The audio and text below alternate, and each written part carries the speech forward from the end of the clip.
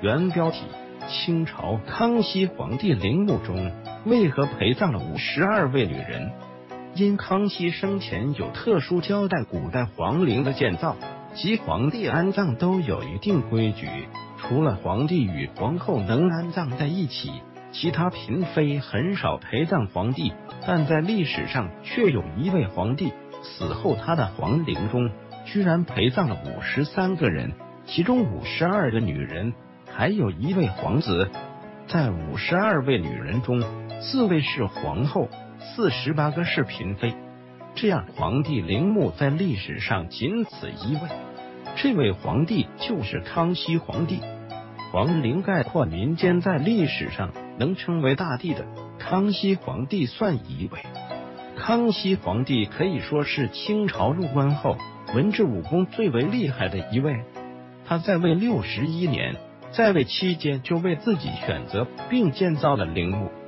康熙皇帝死后，葬于河北遵化的清东陵。这处皇家陵园有顺治皇帝的孝陵、孝庄太后的昭西陵，还有康熙后世子孙乾隆皇帝的裕陵、咸丰皇帝定陵、同治皇帝惠陵。康熙皇帝的陵墓叫景陵。康熙陵墓挺有特点，空中看着。各景陵是一个半圆状，在景陵高低错落有致的建筑看，地位高的皇陵居中，而地位低的妃子则在康熙陵墓的后面。景陵的地宫中，除了康熙的灵柩外，还有孝成人皇后、孝昭人皇、孝义人皇后、孝恭人皇后及敬敏皇贵妃。景陵中还有四十八位妃嫔。外加康熙皇子第十八个儿子胤禣，陪葬康熙皇帝的妃嫔主要是温熹贵妃，加上十一个妃子，她们分别是惠妃、惠妃、宜妃、容妃、嫔妃、良妃、宣妃、成妃、顺义密妃、纯玉嫔妃、定妃，还有八个嫔、十个贵人、九个常在、九个答应。康熙大部分后妃都陪葬他了，那么。静敏贵妃为什么与皇后在一起呢？静敏贵妃后来移葬于景陵地宫，于是妃园正中就成了温熹贵妃。另外，景陵还有个双妃园，葬着却贵皇贵妃和敦仪皇贵妃。因情而葬，清朝皇室婚姻大都是政治联姻。清朝皇帝为了巩固统治，皇后大都来自蒙古女人。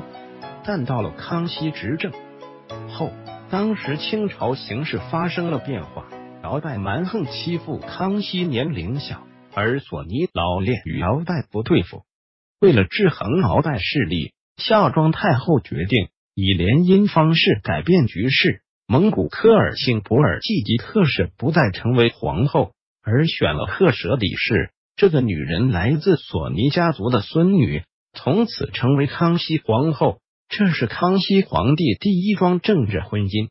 一六六五年，年仅十二岁的康熙皇帝与大一岁的十三岁的赫舍里氏举行婚礼。虽然是一桩政治婚姻，但康熙皇帝与赫舍里氏感情很好。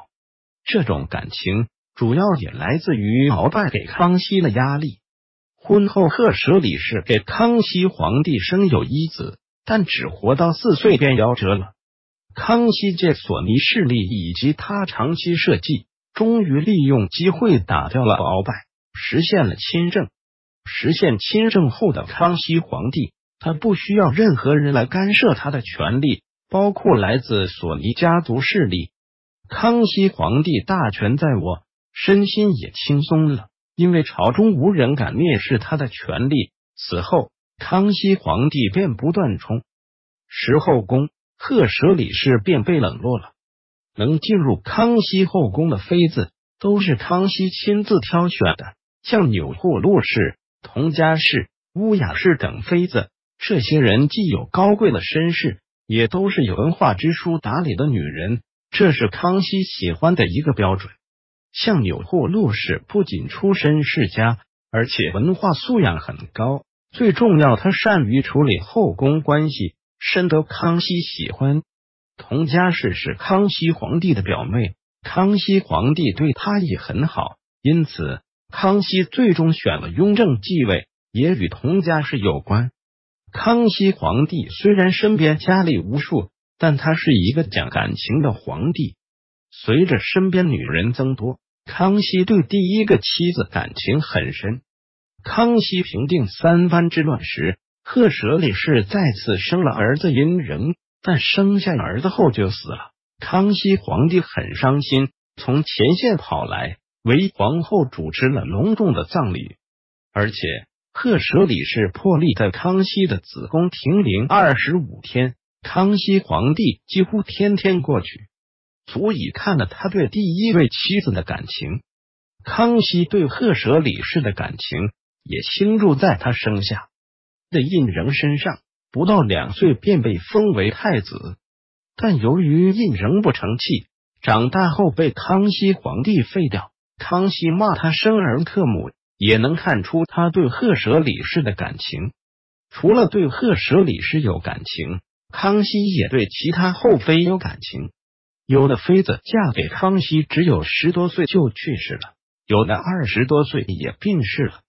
康熙帝对他的妃子们有真情。康熙皇帝外出时会写信或派人送土特产给妃子们。对于那些身居宫中，很少受康熙临幸的女人是一种安慰。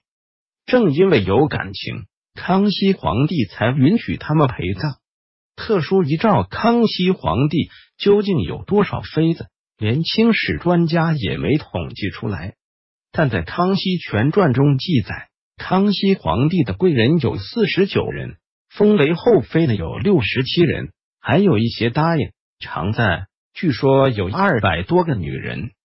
康熙后妃年龄大小不一，而且人数众多。直到乾隆二十三年，最后一个贵妃去世，前后经历快一百年。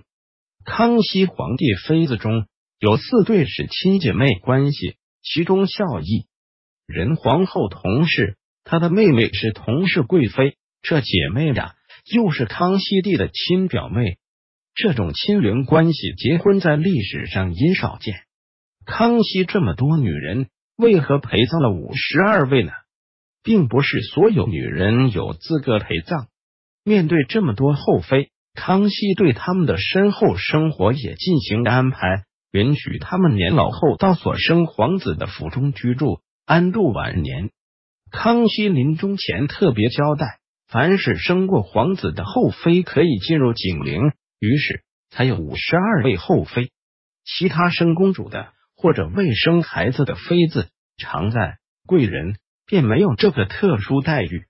欢迎各位看官批评指正。图片来源网络版权归原作者返回搜狐查看更多责任编辑。